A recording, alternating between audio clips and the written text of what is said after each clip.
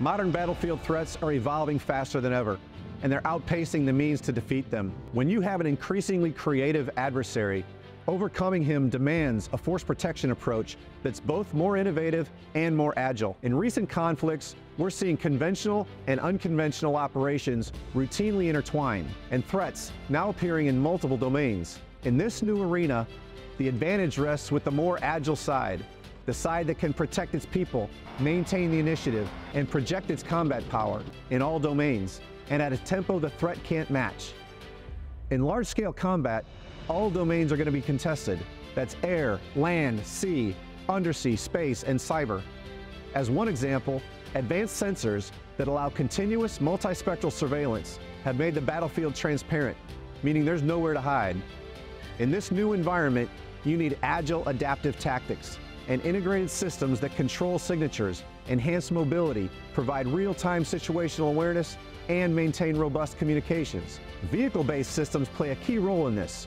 They enable surveillance and reconnaissance, detect and neutralize both air and ground threats, manage onboard systems, and provide the ground truth situational data that's so critical to force protection and the overall common operating picture at higher echelons. At Leonardo DRS, we focus on this intersection of innovation and urgency in our integrated vehicle systems and subsystems.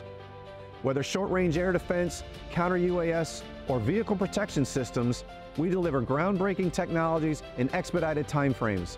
And through it all, we're guided by four tenets. First, different threats demand different defenses, so we adopt a holistic approach and tailor combinations of proven technologies integrated smartly or new leading-edge solutions designed and developed quickly with the goal of providing comprehensive protection in swap-conscious and affordable packages.